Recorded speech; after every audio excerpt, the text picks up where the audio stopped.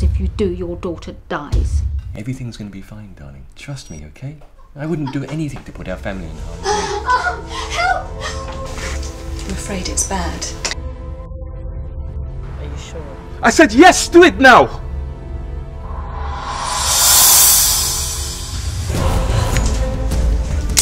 You will eat even if I have to force it down your throat. How do you know, JJ? Have you spoken to her? No! No.